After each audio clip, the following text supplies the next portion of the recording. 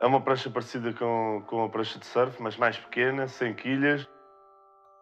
Inicia-se na corrida, a partir da praia, lança-se a prancha na área molhada e desliza-se até à onda e dá-se a, a, volta na onda, o nosso chamado rap, e volta-se a surfar a onda. Isso é a definição de uma onda de skimboard.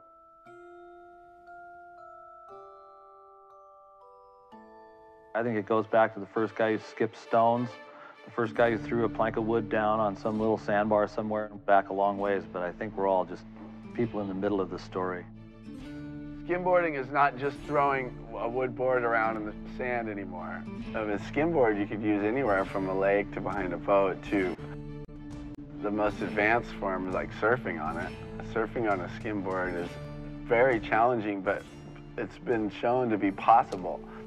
It was just that sensation of, you know, sliding across the thin film of water. It was, it was fun.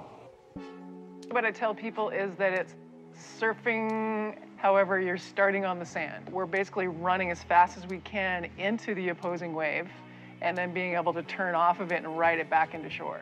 You can learn to just slide down the beach, which is relatively easy, or you can take it to the next levels, which a lot of kids do.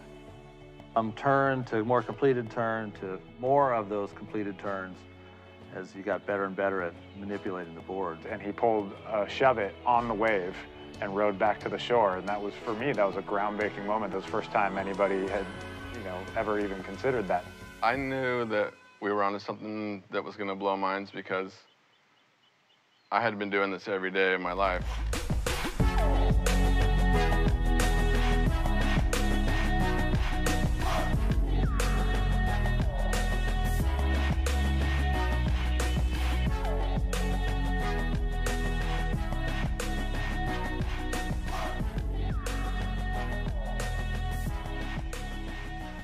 You're running, you're dropping, you're timing, you're balancing, and then you're trying to look good while you're doing it. Like, that's a lot more elements than most, most board sports.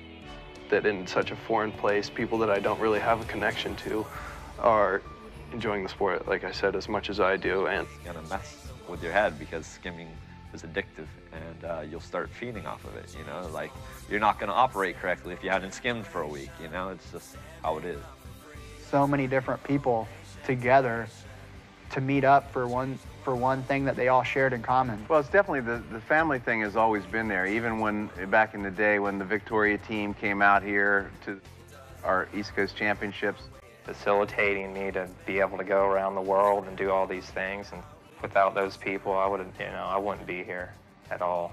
So I mean, I owe them everything for where I am today, for sure think you're referring to came about when the east coast of skimboarding blended with the west coast of skimboarding. That was, you know, what really hooked me to skimboarding was